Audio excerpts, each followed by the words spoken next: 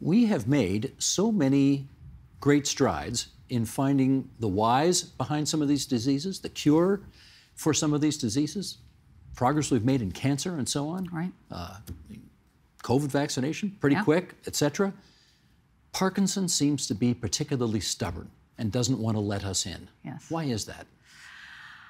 For a number of reasons. Um, one, I think the brain is complicated. You know, I, I would argue it's the most complicated organ we have. I can, you know, have debates with my cardiology colleagues and my hepatology colleagues, but I think the brain is a complicated structure.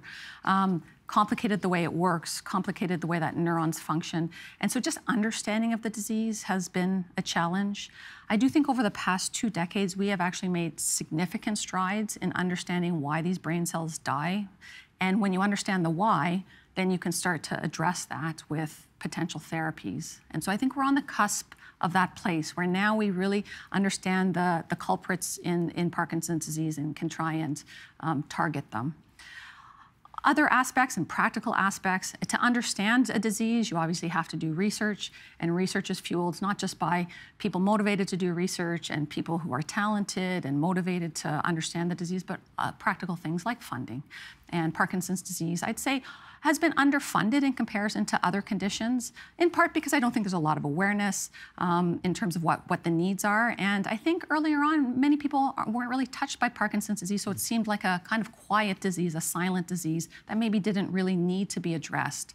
But I think there is some um, appreciation now with this concept of a potential pandemic of Parkinson's disease, with the huge escalation of number of cases, that it is really going to be a, a significant public health issue um, that uh, could potentially be um, thwarted by a cure or something that could stop the progression of the disease, because then we could actually prevent, um, you know, people's progression and, and, worsening of the condition. Yeah, I, I hate to put it this way, but you know, people who are in the fundraising business talk about it this way there are other diseases that are quote unquote sexier and easier to raise money for. Right. And Parkinson's has never been one of those. Right. Is that part of your problem here? Yeah, I, I mean, I, yes, for sure. I think so. Um, and I think one demonstration of how important funding has been has, for been example, the Michael J. Fox Foundation, which has been able to uh, fund a huge amount of research, and that I think has been one of the important aspects, not the only one, but obviously a very important aspect to the progress that we've been able to make over the past couple of decades. A blood test. How close are you to that game changer? So I think the field is close. Um, I think obviously Alzheimer's disease is closer to having a, a blood test that they're going to be able to use. Um, people often talk about us being a, a, little bit behind Alzheimer's disease, which we typically are, again, probably due to the amount of research that's going into the area. Um, but um, there are tests right now that look quite promising where you take either a piece of skin or some spinal fluid that may be quite useful for diagnostics. We appreciate that that's not going to be the most practical approach, and there is um, initial work, um, interesting research that's looking like we can probably tweak that test to be able to do a similar test out of blood. And so I think it's going to be within the next several years. I do think it's going to be a game changer uh, in terms of us being able to diagnose the disease more definitively. And I think where people are very, very excited.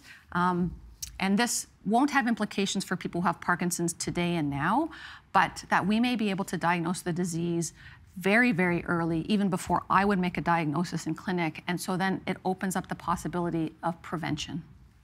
One of the things we did see during COVID is that research facilities and research teams all over the world worked together in an unprecedented fashion, and they made a hell of a lot of progress pretty quickly. Yep. Is any of that happening with Parkinson's?